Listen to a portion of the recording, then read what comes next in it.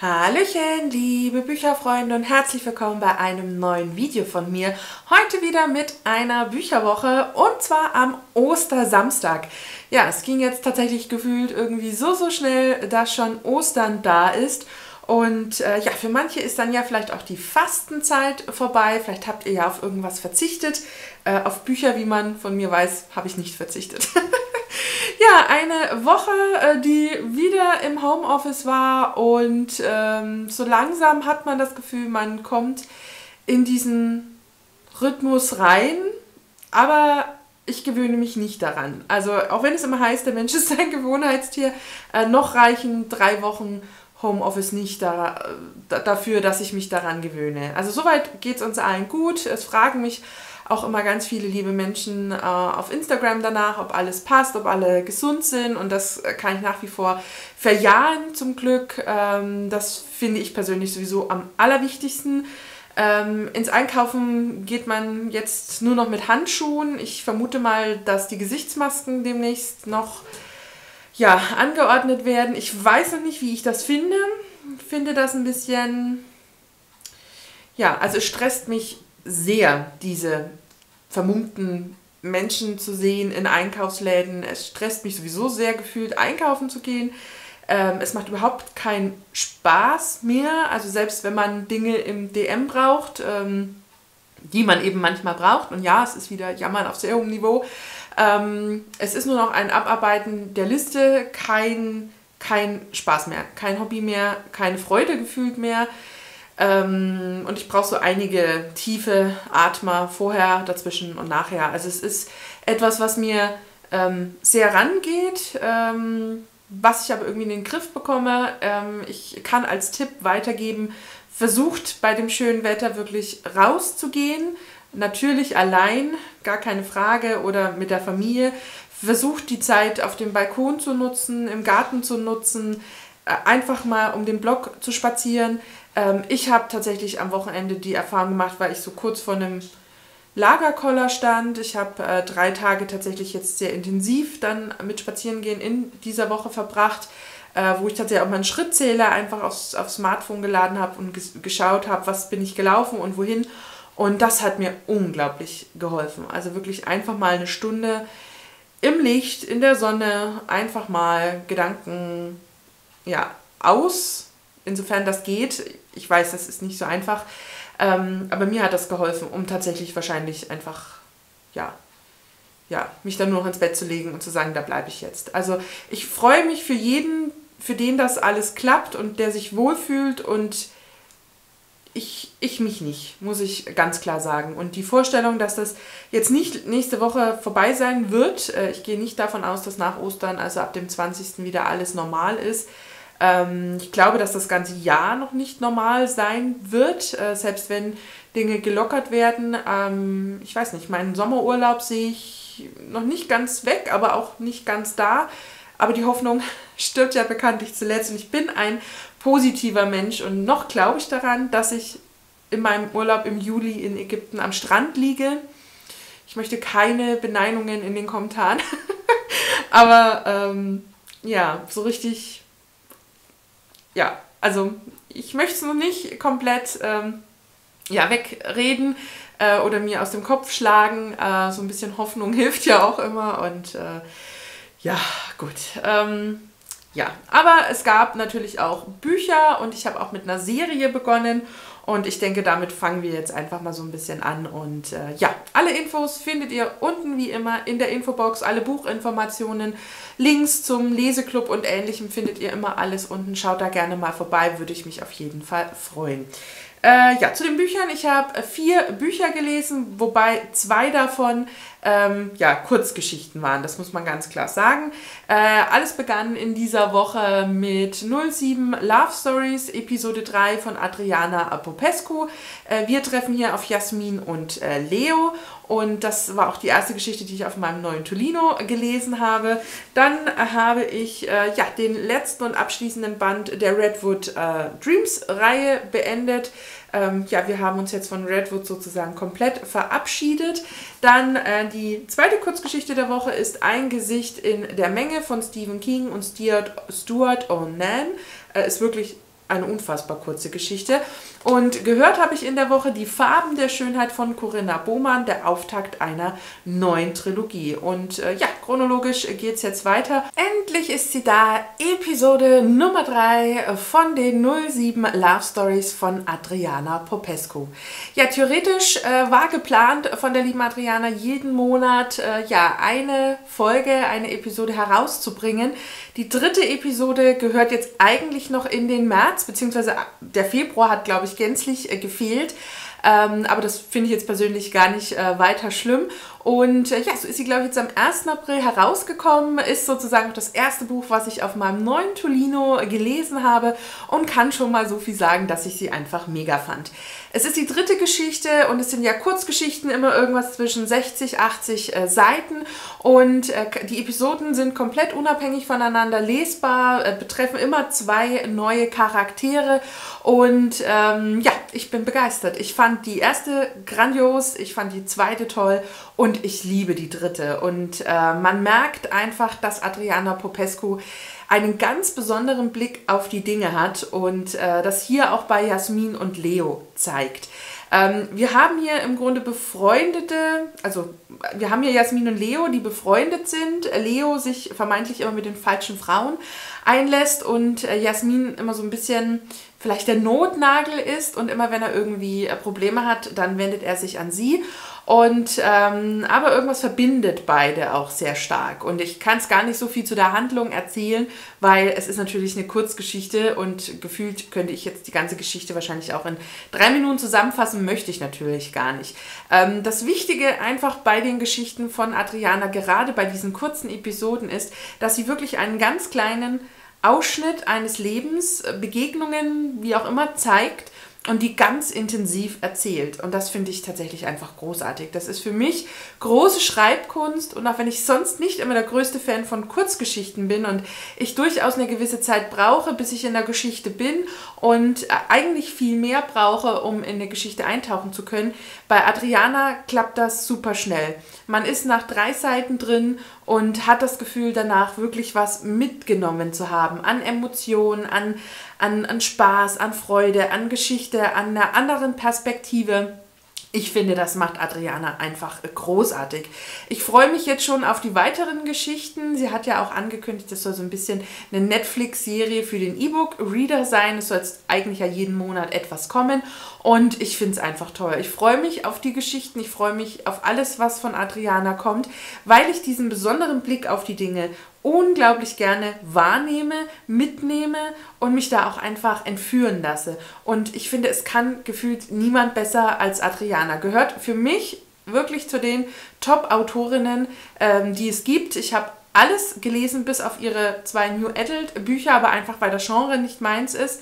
Sonst äh, bin ich wirklich ähm, absolut äh, begeistert, wenn ich zu einem Buch von ihr greife. Sie packt mich immer, egal ob es das Jugendbuch ist, ob es ein erwachsener Roman ist, ob es ihr äh, Krimi ist äh, vom Kommissar Rauch, ob es die Kurzgeschichten sind. Sie, sie catcht mich und äh, sie berührt etwas ganz tief in mir und nimmt mich wirklich auf diese Reise mit und schafft es auch in dieser Geschichte wieder, die Dialoge zu schaffen, ähm, die einfach so viel erzählen, obwohl so wenig gesagt wird und auch dieses Gefühlsspiel, das, das ist einfach großartig. Ich, es ist tatsächlich sehr schwierig, äh, was zu einer Kurzgeschichte dieser Art äh, immer zu erzählen, ähm, weil ich finde, dass das eben ganz viel was in einem macht und gar nicht viel, ähm, ja, im Grunde was, was, was, was Worte bedarf und findet. Und ähm, ja, ich liebe die Kurzgeschichten. Ich kann auch äh, die dritte jetzt wirklich absolut empfehlen. Ähm, mir hat die viel Spaß gemacht und ich mochte auch die Charaktere und auch wie unterschiedlich die sind. Und auch wenn ich nicht immer alles nachvollziehen kann, äh, warum ein Charakter so ist, wie er ist, weil es natürlich auch nur eine kurze Episode ist, äh, schafft sie es eben einfach so, einen Kreis zu bilden und, und einen mitzunehmen. Und ähm, ja, für mich großes äh, Bücherkino, selbst auf diesen kurzen Seiten und ähm, ja, auch ratzfatz auf den ähm, ja, gängigen, ich, ich, weiß gar nicht, ob es das nur auf Amazon gibt oder auch, ich glaube, es gibt es überall, ähm, ja, auch für alle gängigen Reader sozusagen absolut geeignet. Auch ein Highlight in dieser Woche ist ganz klar Redwood Dreams. Es beginnt mit einem Knistern von Kelly Moran. Das ist im Grunde der fünfte Band der Redwood-Reihe. Es gab ja die ersten drei, die Redwood Love hießen die Redwood Love, ich glaube, äh, hießen, da ging es ja um die, ach schon gar nicht mehr hinten drin, ähm, Ja, Redwood Love, oh meine Güte. Ähm, da ging es ja um die drei äh, Tierarztbrüder, die eben in Redwood leben und in Teil 4 und 5 Redwood Dreams haben wir im Grunde äh, ja Nebencharaktere aus Redwood. Äh, zum einen hatten wir im vierten Teil den Feuerwehrmann und jetzt im fünften Teil haben wir den Sheriff Parker und den kennen wir im Grunde auch schon aus äh, Band 4, äh, weil er der beste Freund vom Feuerwehrmann Jason ist. Und äh, ja, wir treffen hier auf den Sheriff Parker, wir sind wieder in Redwood Hollywood. Man muss nicht unbedingt die anderen Geschichten kennen. Ich finde, man kann die relativ gut auch unabhängig voneinander lesen. Äh, es wird manches auch erklärt, ähm, nicht sehr detailreich, aber dass man zumindest weiß, um was es irgendwie äh, so geht. Ich habe das Buch zusammen mit der lieben Becky gelesen. Das haben wir auch beim vierten Buch schon so gemacht. Und sie hat das Hörbuch gehört und war davon auch sehr begeistert und äh, ja, ihr Kanal natürlich auch unten in der Infobox. Ja, wir treffen auf Sheriff Parker, der eigentlich ein ganz schönes Leben führt, der eben Sheriff in dieser Stadt ist, in Redwood ist und ähm, eines Tages per Zufall, als er seine Nichte abholt, auf Maddie trifft. Und Maddie kennt er aus der Schulzeit und sie war so ein bisschen eine versnobte Zicke, hat auch äh, viele Schulfreunde geärgert oder mit merkwürdigen Streichen ähm, ja, im Grunde zur Verzweiflung gebracht. So auch Parker. Sie war zwar irgendwie ein beliebtes Mädchen, aber eigentlich nur so weil man sich halt lieber nicht mit ihr verscherzen wollte. Und äh, vor einigen Jahren gab es einen Skandal in Redwood. Äh, der Vater von Maddie und ihr Verlobter haben die Bürger um einige tausend Euro gebracht durch Betrug und Maddie war da so ein bisschen ähm, ja danach äh, das schwarze Schaf in diesem Städtchen und äh, ja sie ist so ein bisschen in Deckung gegangen und äh, versucht ihr Leben in den Griff zu bekommen und äh, ja arbeitet so ein bisschen geheim Unternehmen, bei verschiedenen ähm, Läden und ähm, ja, Parker trifft sie und sie ist auch sehr wortkarg geworden und er will aber wissen, was hinter dieser Fassade steckt. Er ist neugierig und auch Maddie merkt, dass sie so ein bisschen aus ihrer Reserve wohl herauskommen muss, dass das Leben nicht nur böse, gemein und unfair ist, ähm, sondern dass ähm, ja, da tatsächlich Menschen sind, die hinter die Fassade blicken wollen, die sie kennenlernen wollen und die neue Maddie kennenlernen wollen. Und ähm, natürlich wir wären nicht bei Redwood, wenn es nicht irgendwie eine Liebesgeschichte gäbe knistert es dann auch zwischen den beiden, was aber, ja, wie soll es anders sein, gar nicht so einfach ist und von der Stadt auch nicht ganz so ja, begeistert aufgenommen wird. Was mir ja bereits an den ersten drei Bänden besonders gut gefallen hat, war ja das Städtefeeling von Redwood. Man hat hier ein sehr wohliges äh, Gefühl, man hat hier verschiedene Charaktere, die alle in der Stadt eine Rolle spielen, egal ob es die Tierärzte sind, ob es das Drachentrio ist und natürlich auch die vielen Nebencharaktere, die man jetzt im fünften Band sehr gut kennt. Am besten war diese Städtefeeling im ersten Teil der Redwood Love-Reihe, da hat es mich ja wirklich förmlich umgehauen. Der zweite Band hatte dann schon ein bisschen nachgelassen. Im dritten Teil waren die Charaktere sehr mit sich beschäftigt. Das wurde jetzt in Band 4 und 5 wieder besser und das hat mir im fünften Band mega gut gefallen. Man hat hier wirklich wie so einen Kreis, der sich schließt. Man trifft hier auf altbekannte Charaktere, aber auch auf neue äh, lernen verschiedene neue Läden kennen, dadurch auch neue Charaktere, neue Verbindungen, die sich ergeben und ich fand das großartig. Das hat mir unfassbar gut gefallen, dass diese Städte-Feeling wieder da war, wieder aufgekommen ist, sich wieder ach, Redwood in mein Herz geschlichen hat und das ist wirklich etwas, was diese Reihe wirklich perfekt macht und mir wirklich immer unfassbar viel Spaß macht. Zudem ist die Liebesgeschichte ähm, hier eine sehr erwachsene Geschichte. Die Charaktere sind nicht übermäßig kitschig, nicht einfach so von heute auf morgen vom Blitz getroffen, sondern man merkt in den Charakteren, dass da etwas arbeitet, dass da Gedanken ähm, passieren, dass da Gefühle entstehen, äh, dass auch nicht unbedingt gleich von der großen Liebe die Rede ist, sondern immer so ein bisschen dieses Verliebtsein.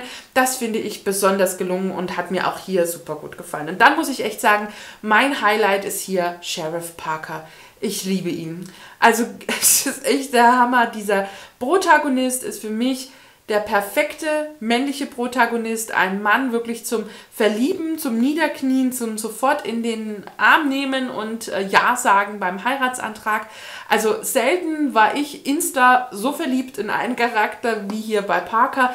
Ich finde den großartig. Und auch Maddie äh, schleicht sich so langsam in das Herz und man merkt einfach, wie man so ein bisschen seinen Weg im Grunde mitgeht und ähm, ja, sie einfach besser kennenlernt, besser versteht und dann mit ihm sozusagen auch sie ins Herz schließt. Und es ist eine Liebesgeschichte, die ganz wunderbar erzählt ist, die ein bisschen langsamer ist, reifer ist, aber an den richtigen Stellen dann wirklich tolle Wendungen hat, knistert, auch wunderbare romantische Momente hat. Es gab so einen Moment, den fand ich ein bisschen fragwürdig. Und ich weiß von Becky, dass es ihr genauso ging. Ähm, da geht es dann tatsächlich um über das Knistern hinaus, über ja, den, den, den ersten Austausch der beiden, der ein bisschen intensiver ist. Und äh, ja, die beiden verbringen im Grunde einen gemeinsamen Morgen miteinander. Und was ich sehr merkwürdig fand, ist, dass man ähm, den Kondomverzicht ähm, begründet mit, dass sie ja die Pille nimmt.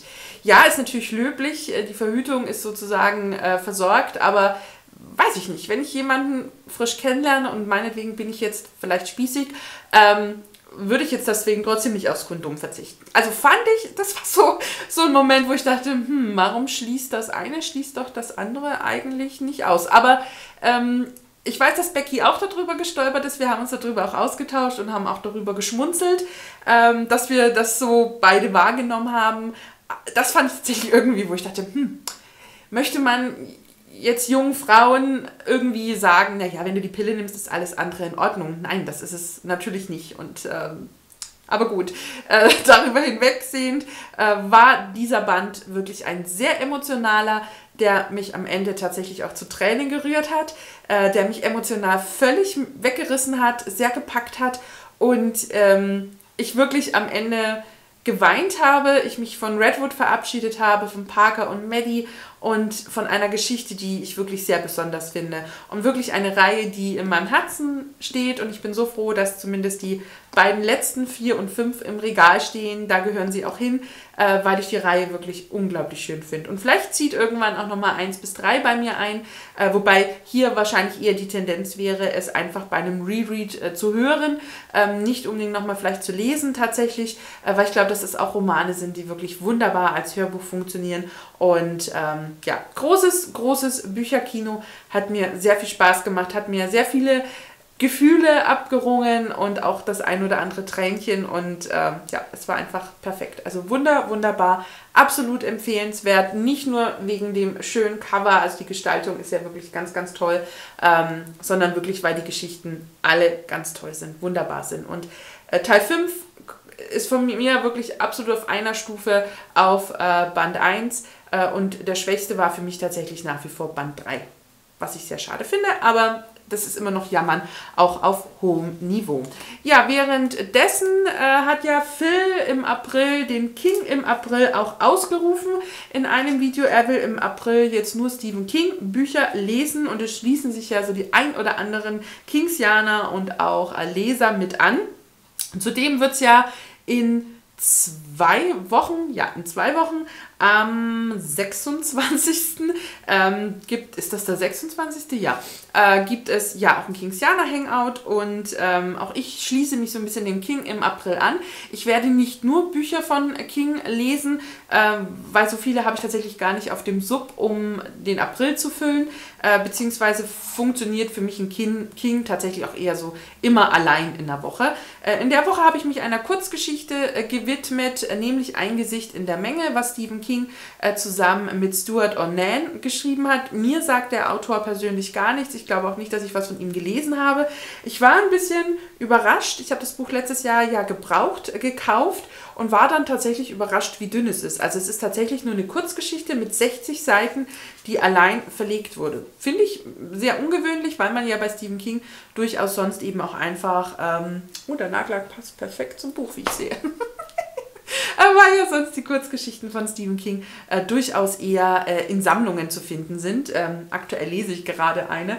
Ähm, von daher war ich ein bisschen, ja, und eigentlich kostet das Buch dann auch 8 Euro neu für 60 Seiten hm, ich weiß, dass sich bei Adriana Popescu schon über die 2 Euro aufgeregt wird, äh, wenn sie was zwischen 60 und 80 Seiten hat. Ich äh, ja, würde mich jetzt fast noch der E-Book-Preis interessieren, aber das äh, sei jetzt mal dahingestellt, das ist egal. Ich habe es äh, Gebrauch gekauft, alles gut, äh, landet in der Sammlung und damit ist auch alles fein.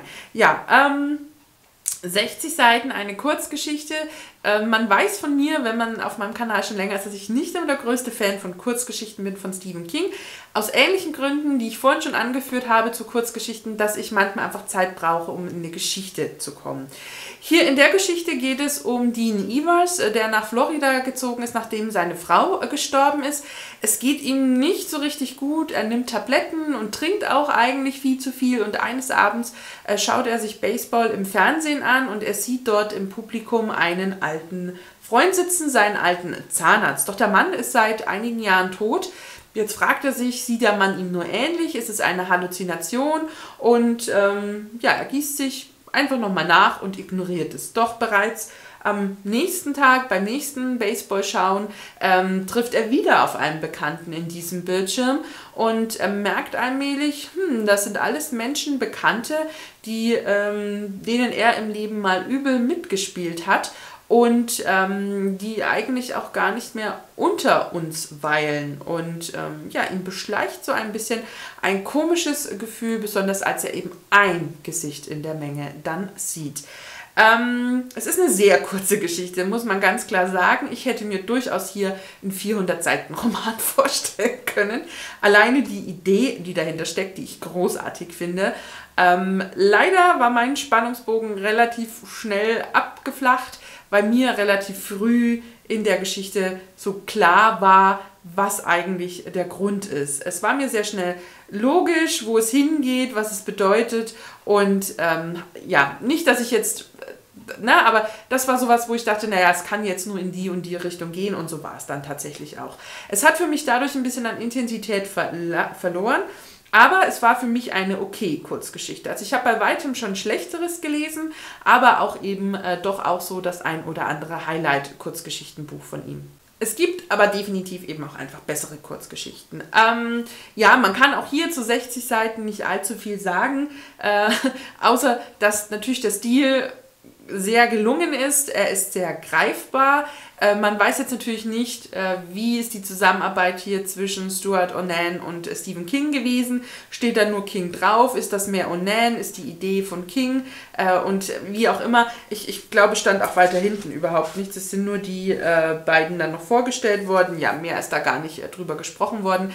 Äh, da fragt man sich natürlich bei 60 Seiten, wie soll da die Zusammenarbeit ausgesehen haben. Aber das ist, ja, es ist eine gelungene Kurzgeschichte, die ganz in Ordnung war, die auch eine interessante Idee tatsächlich hatte und ich mir hier aber definitiv 400 Seiten gewünscht hätte, ähm, um wirklich so diese Intensität der Idee ähm, ja, einfach zu haben. Und ähm, ja, es war gut, kann man lesen, vielleicht tatsächlich dann auch eher als E-Book.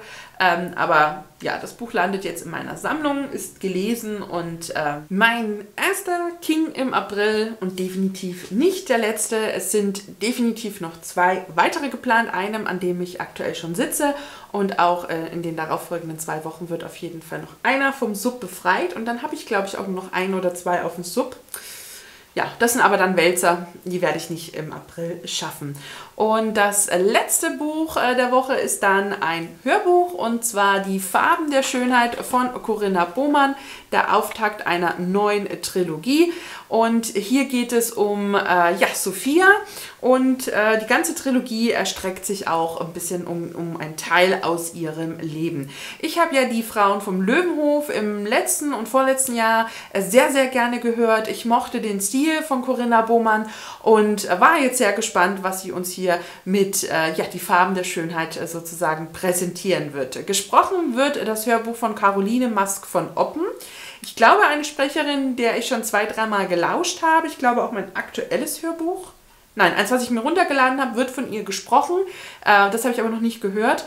Und äh, ich mag die Sprecherin sehr gerne. Also ich finde, die macht ihren Job wirklich wunderbar. Selbst auf doppelter Geschwindigkeit hat man das Gefühl, ähm, dass man wirklich dabei ist, dass sie einen mitnimmt, äh, was natürlich einfach an mir liegt, weil ich es natürlich schneller höre. Ich finde sie wirklich großartig und auch wenn ich sonst nicht der größte Fan von Frauensprecherinnen sozusagen bin, also da Hörbüchern zu folgen, finde ich, macht sie das wirklich ganz, ganz toll. Die Geschichte beginnt 1925-26 in Berlin mit einer jungen Sophia. Sie studiert Chemie hat ein sehr gutes Verhältnis zu ihren Eltern und will irgendwann in der Firma auch von ihrem Vater unterkommen. Sie brennt für die Chemie, für dieses, äh, was sie herstellen kann, wie die Dinge miteinander funktionieren und lässt sich leider auf einen ihrer Dozenten ein, der auch noch verheiratet ist, der ihr aber verspricht, äh, seine Frau zu verlassen und äh, ja, bei einer ja, etwas heißere Nacht geschieht es dann. Sophia wird schwanger. Sie wird von ihrem Vater nach Bekanntgabe der Schwangerschaft verstoßen. Ähm, auch äh, ja, ihr Dozent will nichts mehr von ihr wissen und ähm, rät ihr eigentlich dazu, das Kind durch einen Engelmacher wegmachen zu lassen. Das kommt für, für Sophia aber gar nicht in Frage. Sie ähm, hat aber zum Glück eine gute Freundin, die sich gerade auf den Weg nach Paris macht und da schließt sich Sophia einfach mit an. Sophias Freundin arbeitet am Theater und äh, ja, Sophia versucht eben auch so ein bisschen Fuß zu fassen und will in Paris dann eben auch ihr Kind äh, bekommen. Äh, wir lernen mit ihr zusammen Paris kennen in den goldenen 20er Jahren, das glamouröse Leben. Wir lernen so ein bisschen auch äh, Kosmetik kennen durch die Verbindung von Sophia zu Helena Rubinstein und dann gibt es sogar noch eine weitere Reise, denn es geht dann auch noch nach New York. Wir erfahren einiges äh, zum damaligen Puderkrieg ähm, und den Wandel der Frau in der damaligen Zeit. Der Puderkrieg äh, war ein Krieg zwischen Helena Rubinstein und Elizabeth Arden, die sich beide wohl überhaupt nicht mochten, obwohl sie sehr ähnliche Meinungen eigentlich zur Kosmetik hatten und zur Schönheit und wie äh, Frauen ihre Schönheit im Grunde noch unterstützen, aufwerten können, äh, waren aber große große Konkurrentinnen und ähm, ja, das ist tatsächlich historisch so überliefert und das macht diese Geschichte für mich von Corinna Bohmann wieder super spannend, weil wir einige echte historische Fakten haben und darum eben eine Geschichte gesponnen wird. Das finde ich persönlich richtig, richtig toll. Und ja, ich ahne schon, dass spätestens wahrscheinlich der, der dritte Teil ähm, in Richtung Zweiter Weltkrieg gehen wird und ich noch nicht weiß, wo dann Sophia sein wird. Ich vermute mal und hoffe nicht in Berlin, ähm, aber ich lasse mich darauf ein und lasse mich da auch mitnehmen, aber der erste Teil war davon noch komplett unberührt. Eher im Gegenteil, hier sind noch die Nachwirkungen vom Ersten Weltkrieg zu spüren und gerade, ja, weiß man ja, dass danach die Beziehungen zwischen Frankreich und Deutschland jetzt auch nicht gerade die besten waren. Für mich eine wunderbare Geschichte, die wirklich dieses historische mixt mit eben dieser ja, Fiktion um Sophia herum. Ich kann mir vorstellen, dass es solche Frauen sehr viele gab in der damaligen Zeit, dass die eben auch dieses Frauenbild dann verändert und getragen haben. Es zeigt in einer sehr ausführlichen Erzählweise mit vielen spannenden Wendungen und Ereignissen eine Geschichte einer jungen Frau, die mir wirklich sehr viel Spaß gemacht hat. Ich habe der Geschichte super gerne gelauscht. Ich mochte auch wie Bohmann sprachlich äh, die Geschichte erzählt, ähm, dass sie immer sehr ausführlich erzählt, wirklich bildhaft erzählt, aber dann eben auch so knackige Wendungen, Änderungen in dem Leben von Sophia erzählt, dass sie mich sprachlich auch immer wieder mit reinholt, es zu keinster Zeit irgendwie langweilig wird oder tröge wird, sondern dass es eben einfach sehr viel Spaß macht, dieser Geschichte äh, zu lauschen. Dazu muss man auch wirklich sagen, dass man unfassbar viel zur damaligen Zeit erfährt. Also wie waren die 1920er Jahre, wie war es in Berlin, wie war es in Paris? Und dann am Ende natürlich auch in New York, wie sich auch so die Geschlechterrollen wandeln, wie sie auch Sophia wahrnimmt, also wenn sie an ihr Elternhaus denkt, dann eine erfolgreiche äh, Geschäftsfrau à la Helena Rubenstein trifft, als sie dann in diese glamourösere Welt kommt. Ja, wie das alles sich entwickelt in kurzer Zeit, das erzählt uns äh, hier wirklich Corinna Bohmann ganz wunderbar durch die Augen von Sophia. Für mich wirken die 1920er Jahre, die ja sehr glamourös waren, die golden waren, die so die Hochzeit waren, gerade nach dem Ersten Weltkrieg, äh, die wirken für mich absolut gelungen. Also wenn man Dokumentationen aus der Zeit kennt, das ein oder andere historische Buch daraus, Biografien, die in dieser Zeit spielten, merkt man, dass das sehr gut recherchiert ist, dass das sehr gut mitgenommen wurde, dass dieses Feeling herüberkommt. Jetzt vielleicht nicht so glamourös, wie es beim großen Gatsby der Fall ist. Natürlich fehlt da Sophia eben auch einfach so ein bisschen der Glamour. Aber es kommt absolut nah und es macht super viel Spaß, es äh, zu entdecken und auch äh, zu hören, zu lesen. Ich freue mich jetzt schon auf den zweiten Band, der glaube Ende Mai kommt und ich weiß gar nicht, wann der dritte kam, Oktober, November, ich bin mir gerade unsicher, aber ich freue mich auf diese Reihe. Ich bin sehr gespannt, wo die Reise von Sophia hingeht, was sie noch erleben wird, äh, ja, was es auch so ein bisschen mit ihrem ja, Chemiestudium zu, so auf sich hat, was da sie noch für einen Beitrag in dieser Schönheitswelt leistet und ich hatte große Freude damit. Also für mich eine Reihe, die mich wieder abholt, die mich mitnimmt, die mich durch diesen frühe historische Zeit im Grunde führt, also oder historisch früh, wie auch immer wir es bezeichnen wollen. Es kommt in Richtung der Clifton-Saga. Ähm, man muss aber ganz klar sagen, es kommt nicht ran, weil so ein bisschen ja, der Perspektivwechsel, der Facettenreichtum einfach fehlt und für mich auch so ein bisschen noch die Tiefgründigkeit.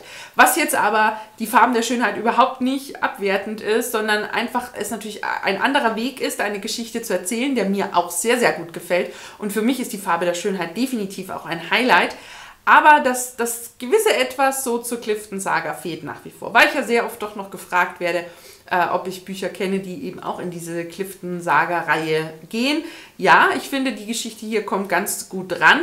Ähm, man muss sich aber darauf einlassen, dass eben der Erzählstil einfach ein anderer ist. Klar, es ist auch Corinna Bowman und nicht Jeffrey Archer, aber ja, dennoch ein Highlight und somit wirklich eine absolut gelungene Lesewoche, wenn man so möchte, mit wirklich vier tollen Büchern, mit einem kleinen Minus bei der Stephen King Kurzgeschichte, aber auch die war ja nicht schlecht, sondern wirklich gut. Und ähm, ja, das macht es wirklich zu einer tollen und schönen Woche, die ich sehr genossen habe. Auch insbesondere, weil ich mich ja mit der lieben Becky ausgetauscht habe zu Redwood Dreams und das wirklich immer viel Spaß macht. Und ich ähm, ja, freue mich auf die vielen Bücher, äh, die man noch gemeinsam liest und ähm, kann das wirklich nur empfehlen. Sucht euch mal einen Lesebuddy, lest zusammen und tauscht euch da aus. Das ist nochmal ein ganz anderes ähm, ja, Gefühl, nicht nur mit seinen Gedanken zu dem Buch im Kopf alleine zu sein, äh, sondern tatsächlich die mit jemandem zu teilen.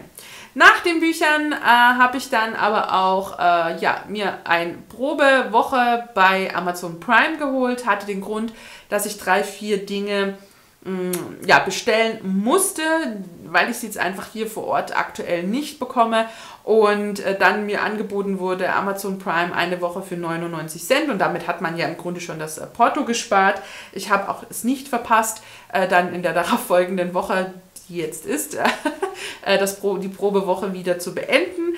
Ich muss sagen, grundsätzlich zu Prime, ich war ein bisschen enttäuscht wie wenig Filme ich dort frei gefunden habe. Also ich habe gerade auch einfach mal ältere Filme gesucht, egal ob es von Brad Pitt war, Matt Damon, Christian Bale, Julia Roberts, ähm, Hugh Jackman, ähm, alte Filme von Ewan McGregor. Ich habe wirklich versucht, die Bandbreite so groß wie möglich zu halten. Ähm, mir ist klar, dass aktuelle Filme, die ganz frisch auf DVD sind äh, oder Blu-ray, dass es die nicht kostenlos gibt. Das, das ist auch in Ordnung, da, da, na, danach ging es mir auch gar nicht. Aber wenn ich dann wirklich so geschaut habe, was ist denn frei, habe ich sehr viele Actionfilme gefunden. Das ist jetzt aber nicht ganz meins, ähm, nicht, nicht immer unbedingt.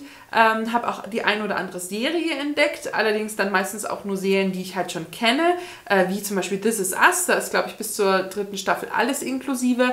Ähm, ja, ich war ein bisschen enttäuscht, äh, weil auf die Filme, die ich so ein bisschen Lust gehabt hätte, eben auch einfach so ein bisschen ältere Filme, die hätten eben alle 3, 4 Euro nochmal extra gekostet, wo man sich so fragt, naja, was, was habe ich denn dann Prime, wenn dann trotzdem jeder Film extra kostet?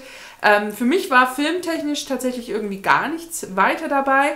Ich habe aber dann Carnival Row entdeckt und am Wochenende auch die ersten zwei, zweieinhalb Folgen mir angesehen. Das ist ja eine, eine Serie, die, glaube ich, im letzten Jahr herauskam, im November, sehr gehypt gefühlt auch war ähm, aber eher bei den Kritikern, also beziehungsweise auf den ähm, ja, Serien, Filmkanälen, die ich schaue.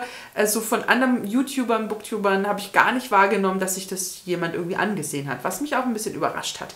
Es spielt mit Orlando Bloom und Cara Delevingne, insofern man ihren Namen so ausspricht, und Jared Harris, den ich ja seit Terror und auch Tschernobyl äh, sehr, sehr gerne habe und auch vorher schon ich den immer gerne gesehen habe. Aber Daher ist er vielleicht vielen aktuell ein Begriff. Ja, in Carnival Row, ich kann theoretisch jetzt noch gar nicht so viel sagen, weil jetzt zu dem Zeitpunkt ähm, ich bin mit der Serienstaffel nicht so richtig durchgekommen. Äh, mir haben die ersten zwei Folgen, aber die ja zu der Bücherwoche gehören, aber tatsächlich ganz gut gefallen. Ich mochte das sehr düstere Setting. Ich mochte das etwas rauere, wildere, ähm, ja, auch die etwas derberen Szene mochte ich gerne. Wir haben hier ja eine Welt, die von fantastischen Wesen umgeben ist, die aber im Grunde so ein bisschen ja die Außenseiter sind. Und äh, wenn man mal von den ja, mystischen Wesen, egal ob das Elfen sind oder so, äh, wegsieht, könnte man auch das einfach auch in die Jetztzeit sozusagen packen und ähm, da einfach eine, eine, eine, Thematik aufmachen von ähm, Migranten, die eben in ein neues Land kommen oder in ein anderes Land gehen, aus welchen Gründen auch immer. Und man dann natürlich eben die hat, die dagegen sind und die hat, die dafür sind, die das unterstützen, die denen helfen. Und so kann man sich die Welt im Grunde vorstellen. Es ist nur düster, es ist nicht in der Jetztzeit, es spielt vielleicht so im 19. Jahrhundert, boah, das ist gerade, das ist ja nicht meine Schätzzeit, aber ich, ne, irgendwie so 1800 irgendwas könnte ich mir vorstellen, was auch so an den Kleidern liegt, an den Stil liegt, an, an ja, wie die Menschen auch so miteinander umgehen. Ähm, und wir haben eben hier die Rolle von Orlando Bloom, äh, der als ähm, ja, Polizist, äh, ja, Officer, äh, eben einen Mord, eine, einen Serientäter im Grunde sucht, der sich eben an diesen andersartigen Geschöpfen äh, vergeht und die tötet. Und ähm, er selbst eben auch mal ein, eine Liebesbeziehung zu einer Elfenfrau hatte. Ähm, und äh, ja, die jetzt eigentlich denkt, sie ist in Trauer, dass er verstorben wäre und dann aber erfährt, oh, er lebt ja noch. Und es war irgendwie sehr anziehend in den ersten zwei Folgen, ähm, so dass ich dann auch tatsächlich weitergeschaut habe. Es verliert sich aber so ein bisschen an, an Spannung und Intensität und ähm, ja, also ich kann verstehen, dass vielleicht viele dann tatsächlich nicht so begeistert waren, äh, oder mh, hm, nie darüber sprachen, weil sie eben gar nicht zu Ende die Staffel äh, vielleicht geschaut haben. Ähm, ich finde es aber schade, weil ich die Rolle von Orlando Bloom großartig fand und auch ihn wirklich sehr großartig fand. Und ich ähm, tatsächlich eher mein Problem mit Cara Delevingne habe. Ich kann mit dieser Frau, mit ihrer Mimik und so nicht viel anfangen. Aber Orlando Bloom ist wirklich ein großartiger Schauspieler, wie ich finde.